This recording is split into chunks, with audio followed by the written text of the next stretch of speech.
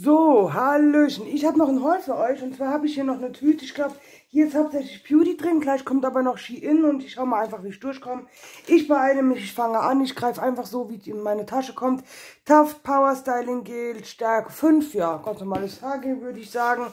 Mag ich persönlich nicht so, weil ähm, ich finde, das ist nicht Stufe 5. Das Einzige, was ich richtig krass finde, ist von Gotopi das Gelbe der Kleber oder das Schwarze der Superkleber. Aber mein, Mann, mein Mann nutzt das gern, von daher, warum nicht? So, dann habe ich mir hier ein Dresdner Essenz ähm, Schaumbad geholt. Und zwar ist das Aroma Booster mit ätherischen Zy ähm, Pinien, Zypern und Zedernholzöl. Mal gerade riechen. Ja, das riecht wie so eine frisch geputzte Toilette. Zumindest riecht meine Toilette so, wenn die frisch geputzt ist. Aber es ist schön. So, dann habe ich dieses Deo mir gekauft. Und das habe ich mir fünfmal oder so gekauft. Und habe es auch noch dreimal auf Vorrat. Ähm, das ist vom DM, heißt Golden Moon. Und ähm, es riecht sehr, sehr ähnlich dem Hypnotic Poison Parfüm. Also wirklich sehr, sehr ähnlich. Bei weitem bestimmt nicht identisch, aber sehr, sehr ähnlich.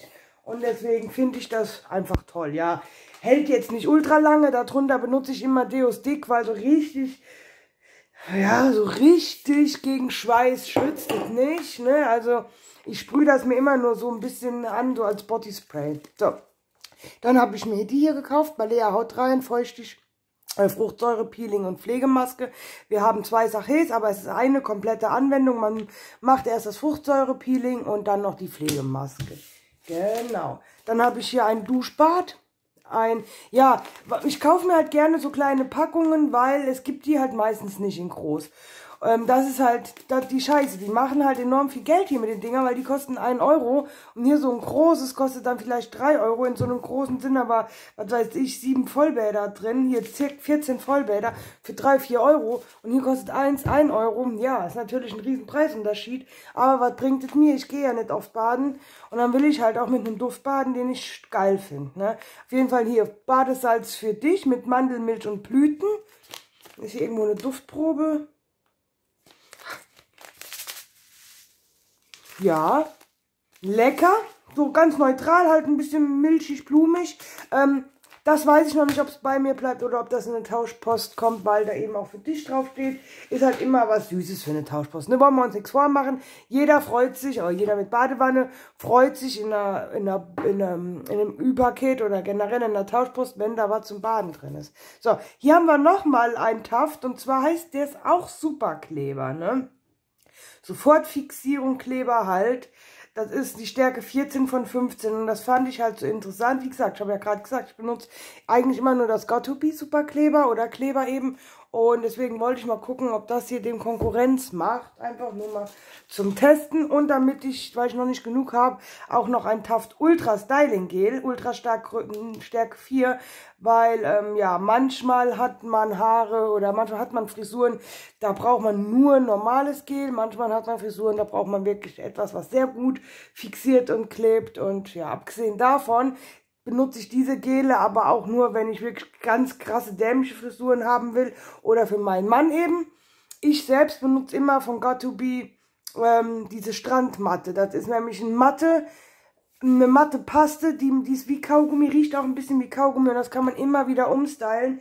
Ähm, ist halt leicht glitschig auf den Haaren, aber ist matt. Und das mag ich doch sehr, muss ich sagen. Von daher sind das sowieso auch nur Käufe, ja. Und vor allen Dingen, ich bastel halt auch viel mit Gel, also nicht viel, aber ab und zu rühre ich mir meine Glitterpaste an, ne? So. Dann haben wir hier noch Balea Parfüm Deodorant Pink Blossom. Ich muss mal gerade riechen. Das kenne ich nämlich nicht.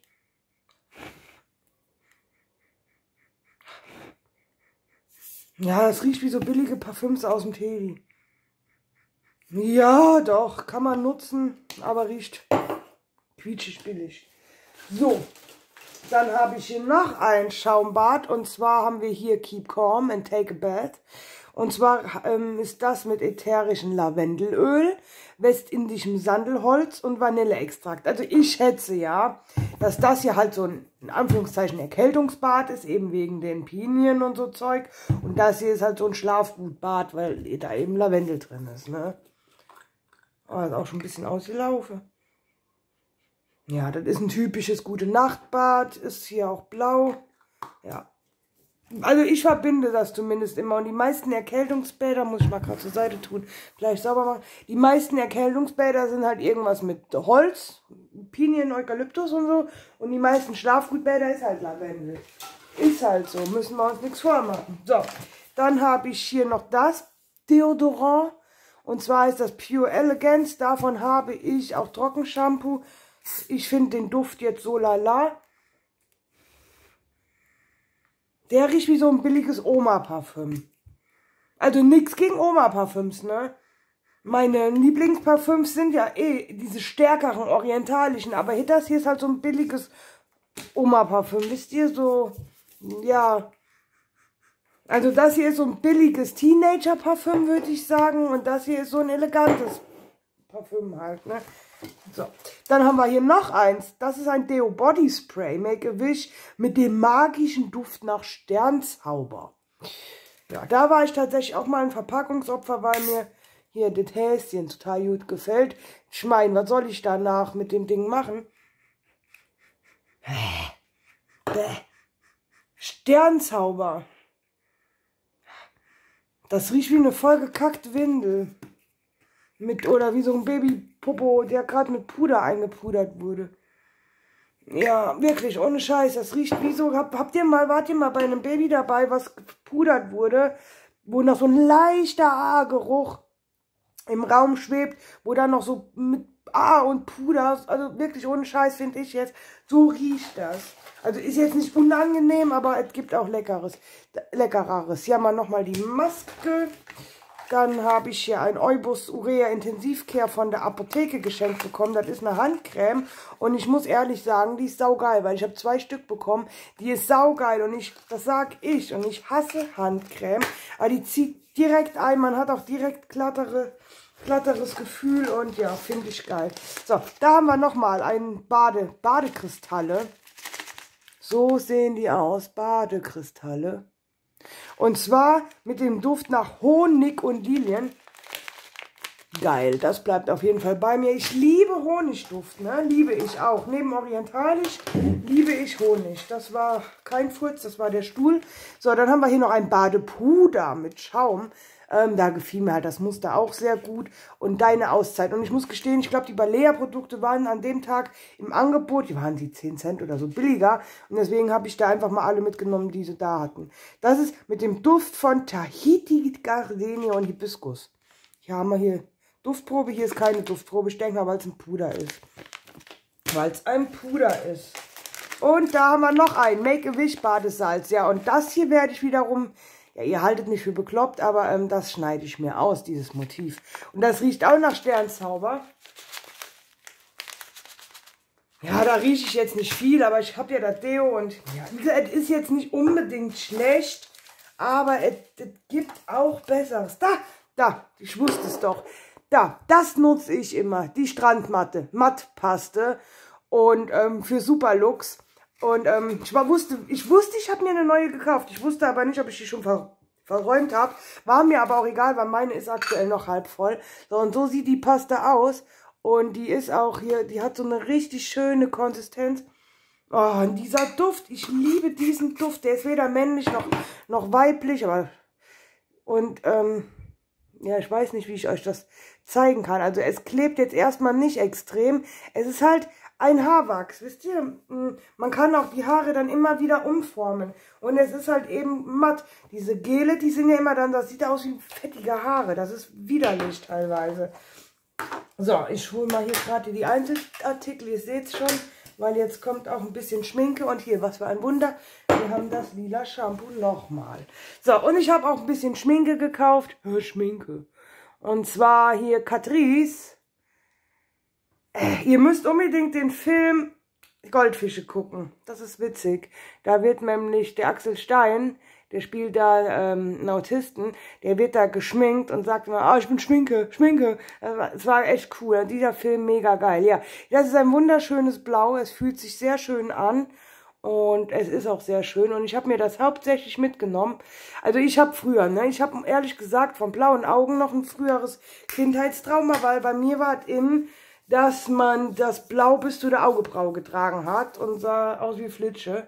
Deswegen, ich würde mir jetzt nie wieder blaue Augen schminken und wenn dann auch extrem knallig, muss aber zum Outfit passen. Warum ich den hauptsächlich mitgenommen habe, ist, der hat halt, den kannst du super gut toppen, als Topper-Ding benutzen. Und ähm, wenn man den dann verreibt, dann ist der auch gar nicht mehr so blau. Aber wenn ihr zum Beispiel li lila Augen habt, boah, lila ist auch so eine schreckliche Farbe. Nee, aber den kann man gut kombinieren und wo drüber machen.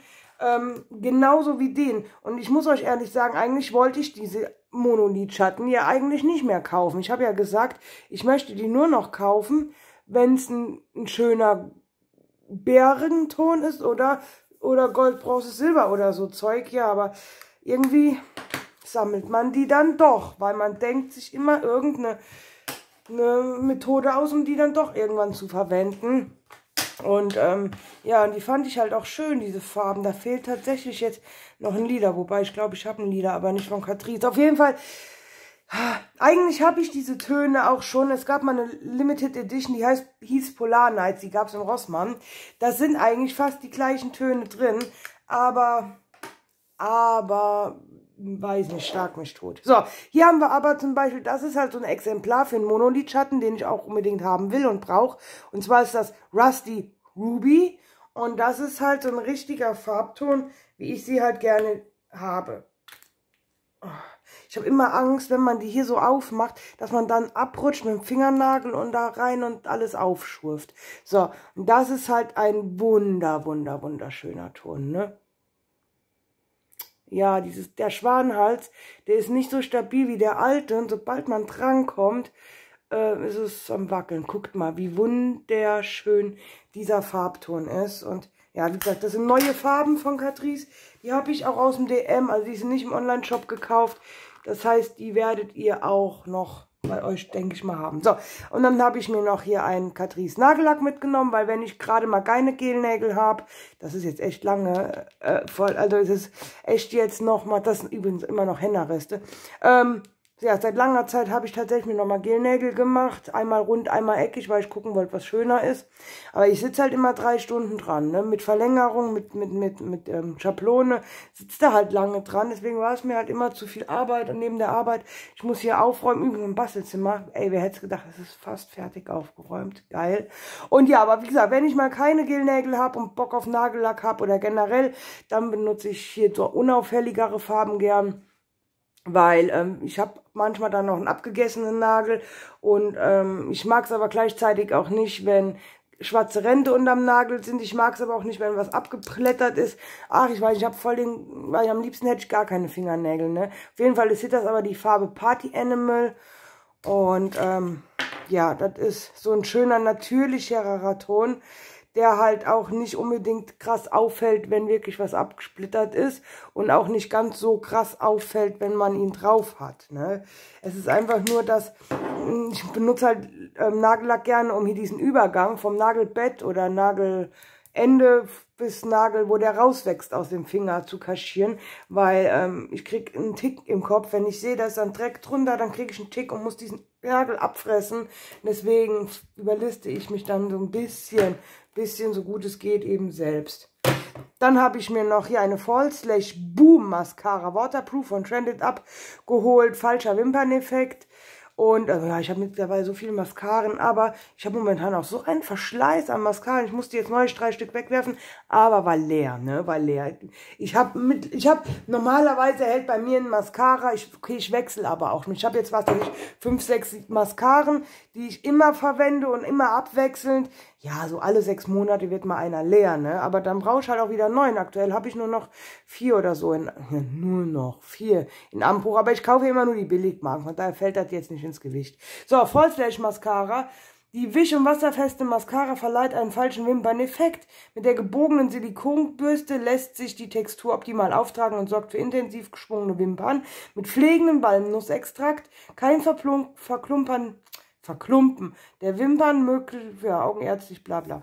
Ähm, ja, was ich noch mal gerne hätte, ist eine Mascara mit so Fibers drin, mit so, ja, mit so, mm, mit so die Bürste ist so ein bisschen, ja, ist auch ist ein bisschen flexibel.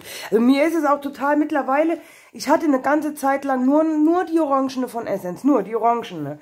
Aber ich bin auf wasserfest umgestiegen und dadurch habe ich mich mal so ein bisschen probiert. Bin mittlerweile tatsächlich auch ein Freund von nicht Silikonbürstchen, also diese ganz normalen Bürstchen oder auch von diesen geringelten. Also mittlerweile komme ich, liebe ich alle Mascaren und vor allen Dingen, ich habe halt überhaupt gar keine Problemaugen oder Problemwimpern. Meine Wimpern kommen mit jeder zurecht. Aber ich würde echt gerne nochmal ähm, die Teleskopik, die gab es übrigens früher schon mal, die war nur anders verpackt, soweit ich weiß. Die war nämlich silber und hatte wie so Stufen.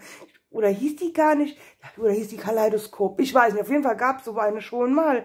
Die sollte auch mächtig Wimpern machen. Ich kann mich, da war ich 14 oder so. Ich kann mich nicht erinnern, dass die jetzt noch krass war. Aber die, die Teleskopik, die hätte ich echt gerne mal. Oder eine mit diesen künstlichen Fasern drin, wo man diese Fasern dann aufs Auge macht. Ich hatte mal eine, die war aber dann die war, hatte aber sehr, sehr klumpige Wimpern gemacht.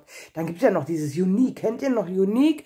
Die haben ja da, die sind ja bekannt für diese Mascara, aber die waren mir mit 20 Euro immer zu teuer oder mittler oder über 20 Euro. Von daher habe ich die nie getestet. Aber so eine hätte ich gern noch. Haben die, gibt es von so einer billig, ich habe mich jetzt, jetzt noch nie, ich greife immer irgendeine Mascara, die mich irgendwie anspricht. Aber wisst ihr, hat irgend so eine Billigmarke, Catrice, was weiß ich, Stranded Up oder, oder, oder, haben die irgendeine Mascara mit so künstlichen Fasern?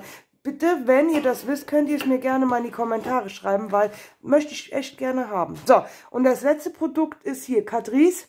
Das ist der neue Limited Edition. Die heißt Beautiful You. Alles andere hat mir nicht gefallen. Und zwar das Rouge und ich habe die Farbe. Das ist ein Cream to Powder Blush. Also ich, früher hieß es mal Rouge. Rouge, jetzt heißt es Blush. Die 02 habe ich Tread Yourself. Und zwar ist das die dunklere Farbe. Die andere war, glaube ich, bisschen peachiger. Auf jeden Fall wollte ich aber ein ganz knalliges Rot. Ach, hier ist noch, hier ist noch dieses Schutzding drauf. Hm. Ich habe die nämlich im Laden getestet und meine noch nicht geöffnet. Aber ah, das ist das Problem jetzt mit so langen künstlichen Fingernägeln. Ich bekomme das Ding jetzt, das ist hier so festgeklebt. Das ist ein Aufkleber quasi und ich krieg den jetzt nicht ab. Also ich krieg den nicht gepackt. Oder? Hier drunter heben? Doch, ich hab's. Nee. Ach, Mann, ich war kurz vorm Ziel. Jetzt hab's geschafft. Ja, falls ihr mich sehen solltet, ich habe gerade eine Runde Bubu gemacht und bin heute umgeschminkt. Also, ja, ich sehe aus wie ein Schreckgespenst. Auf jeden Fall, da haben wir den Rouge. Und das ist so eine, ich mache ein bisschen mehr, eine Creme. Und wenn man das jetzt hier aufträgt, okay, es gibt jetzt nicht viel Farbe ab, aber auf jeden Fall, wenn man es aufträgt, ist es direkt Puder. Man muss halt auch ein bisschen mehr nehmen. So, dann mache ich direkt weiter, weil wir sind erst bei 18 Minuten. Müssen wir nicht ganz so lange rummachen. Machen wir ein Video. Im Aldi, glaube ich, war das. Oder im Lidl? Ne, im Aldi. Habe ich mir nochmal die hier mitgenommen. Ich habe davon auch noch eine Packung. Aber immer, wenn es die mal gibt, möchte ich die haben glaube 2,99 Euro. 25 Blatt, 25 Etiketten. Also sie sind auf vier Klebebögen quasi. Die kannst du bedrucken mit einem normalen Tintenstrahl, mit einem Laser. Die kannst du auch kopieren. Die kannst du dir zurechtschneiden, wie du willst. Was weiß ich. Hier gibt es auch noch Etikettenvorlagen. Kannst du dir noch downloaden. Kannst du dir noch Adresslabels rausmachen. Was weiß ich. Und 25 Bögen für 2,99 finde ich ein sehr, sehr guter Preis. Und permanent haftend.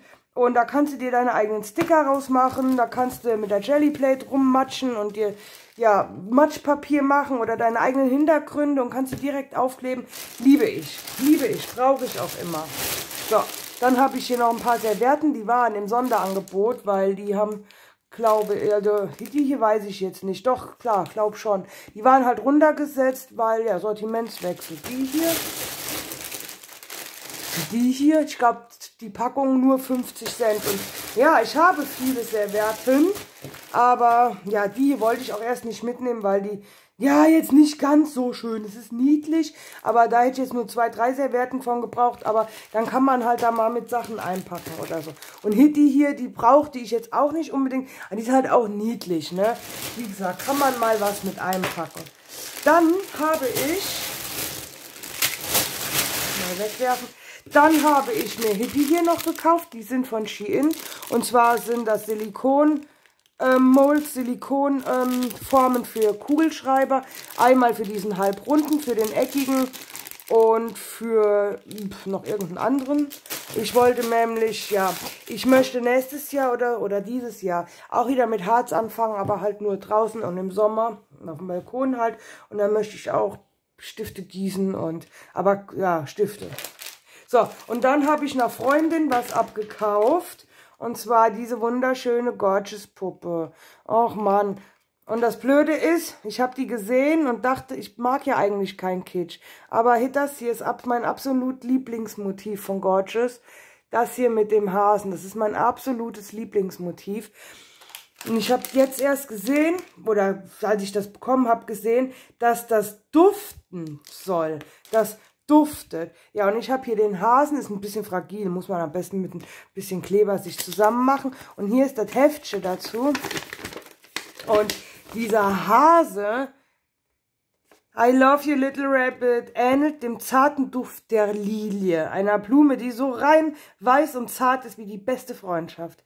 Der Lilienduft dieser gorgeous Figur Figur wird dich an friedliche Momente mit deinen Freunden erinnern, in denen ihr euch nur anzusehen brauchtet, ohne dabei ein einziges Wort sprechen zu müssen. Wahre Freundschaft braucht keine großen Pläne, um perfekt zu sein. Es genügt, gemeinsam Zeit zu verbringen und aufeinander Acht zu geben. Der Lilienduft wird dich inspirieren, dir deine eigene Welt zu schaffen, so einzigartig und künstlerisch wie die deiner parfümierten Gorgeous-Freundin. ähm, ja, der Duft ist ekelhaft, muss ich gar nicht weiter was zu sagen. Der Duft ist ekelhaft. Und ja, ja. Und zwar Hitty hier, die Figuren, die gibt es alle noch. Und was ich total gerne hätte, hier leuchtet auch sogar eine im Dunkeln, zwei leuchten im Dunkeln. Ähm, oder hier dieser Pott, der Pott, den sie da in der Hand hat, leuchtet im Dunkeln und hier leuchtet die Krone. Also welche ich jetzt noch total gerne hätte, ist die hier mit dem Gruselhasen. Also die blaue. Und daneben die mit der Katze. Die beiden, die hätte ich noch total gerne. Ja, muss ich doch gestehen. Die beiden hätte ich noch gerne. Hier die White Rabbit eventuell, aber mir geht es hauptsächlich hier um die, die Tiere. Die anderen, nö, nö. Ja, auf jeden Fall sehr, sehr süß. Und das bleibt jetzt auch direkt aufgebaut.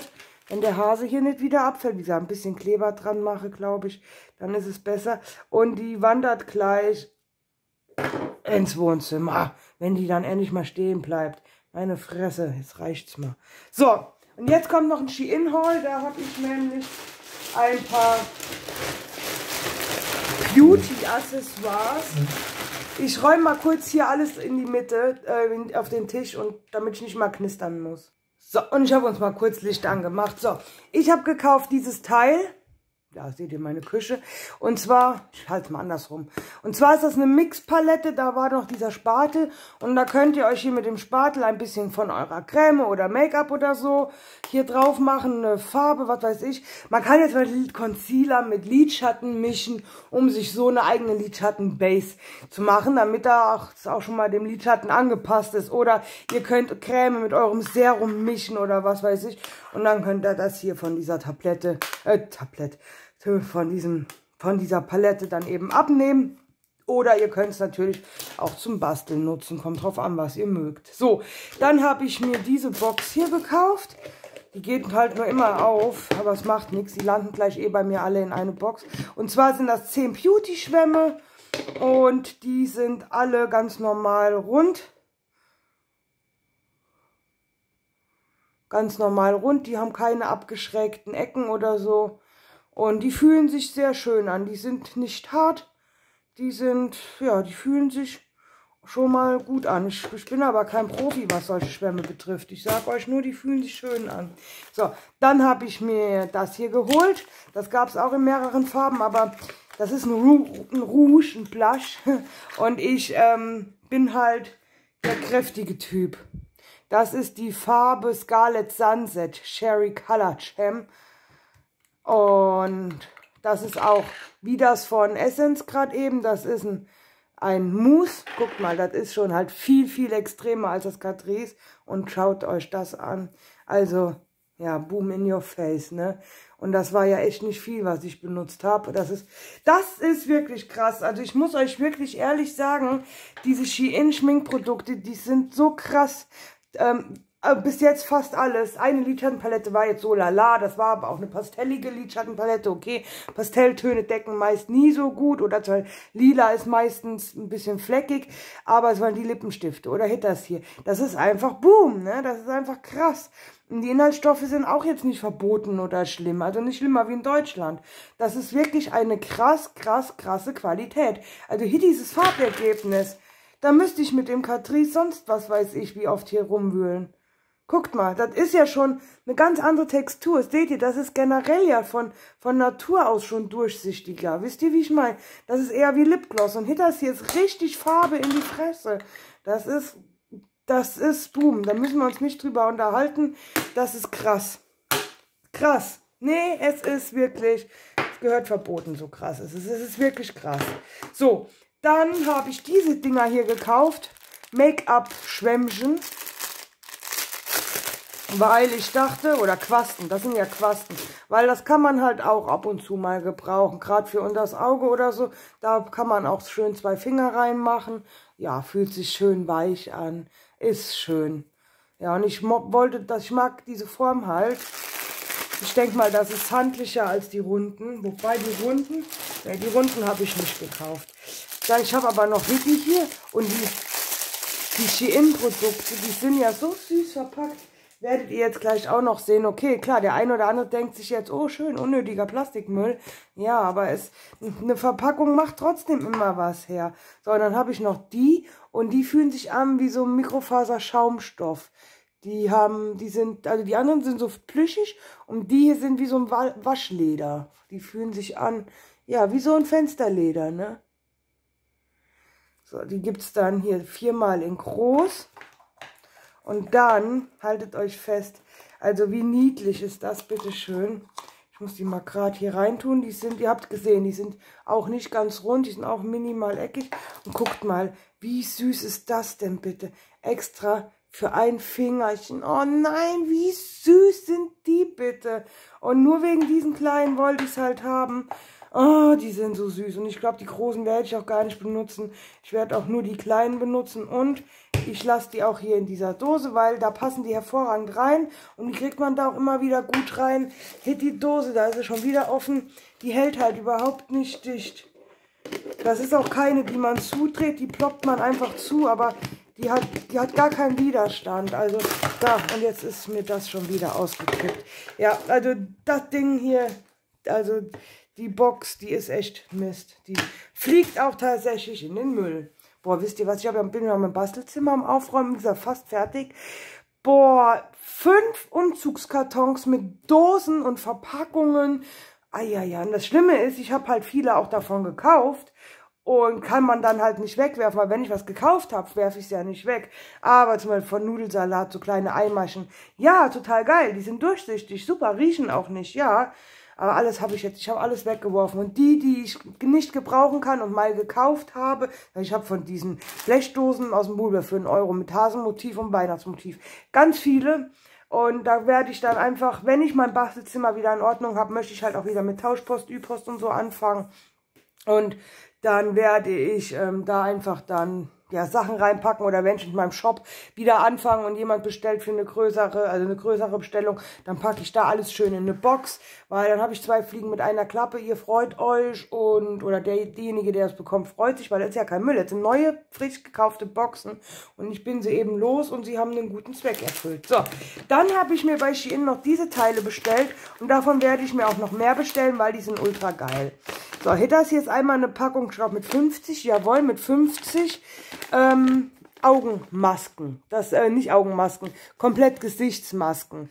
Ähm, und zwar macht man die in ein kleines Gläschen, tut sein Serum drauf, wartet bis die, oder tut so viel Serum drauf, bis das sich eben, ja, vollgesogen hat. Und dann macht ihr das auseinander und macht so eure eigene Gesichtsmaske. Die sind total geil, sind 50 Stück, kosten, glaube ich, so zwei oder drei Euro. Und ja, kaufe ich mir auf jeden Fall noch mehr. Und die gibt es auch, glaube ich, irgendwo, genau, diese, ähm, es gibt wiederverwendbare Augen, Pads, nur fürs unters Auge. Aber es gibt die von Evelyn und es gibt die von Catrice. Die sind überall ausverkauft. Überall ausverkauft. Ich renne schon seit Wochen in den, in den DM und, ähm, ne, komplett ausverkauft. Naja, und dann habe ich noch Hitters hier und zwar sind das 30 Stück und das sind, ähm, Gesichtshandtücher. Die sind einfach nur, wie groß sind die? 20 mal 22. Das ist halt schön für unterwegs.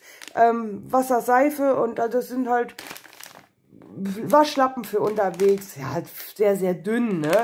Aber trotzdem, guck mal, man hat man, dann braucht man keine Waschlappen mehr mitnehmen, sondern kann so kleine Bonbons mitnehmen. Klar, kosten jetzt auch 2, 3 Euro. So ein Waschlappen nimmt im Koffer nicht viel weg. Aber die kann man mal schön in die Handtasche tun, für einen Disco-Besuch oder was weiß ich. Einfach mal schön in die Handtasche. Sieht ja auch besser aus, wenn man sowas in der Handtasche hat, als einen alten Waschlappen. Ne? Also, ja, ist schon praktisch. So, dann für 6 Euro habe ich mir noch das hier gekauft. Und das ist halt auch voll die süße Verpackung. Ne? Und es ist halt auch durch den Transport nicht kaputt gegangen. Und da haben wir, glaube ich, 22 Schwämme drin. So, wir haben da drinnen einen runden großen, der ist größer als hier die anderen. Der ist wirklich groß, der und der ist nochmal weicher. Und wenn die ja nass sind, ich habe jetzt auch erst gelernt, dass man die nass macht oder feucht macht, dann sind die ja nochmal größer. Dann haben wir den hier, der ist abgeruhen, abgeschreckt. Und da muss ich sagen, die abgeschrägten finde ich sehr geil, liebe ich. Und dann haben wir hier so einen großen. Ja, mag ich auch sehr, wegen der Spitze, ja aber ich habe eh noch nicht so den Nutzen und was weiß ich von diesen Dingern rausgefunden. Ne? So, dann packe ich die hier mal alle aus. Wir haben, wie ihr seht, Herzen. Herzchen. Dann haben wir hier so kleine Ovale. Dann haben wir hier wie so Häuser.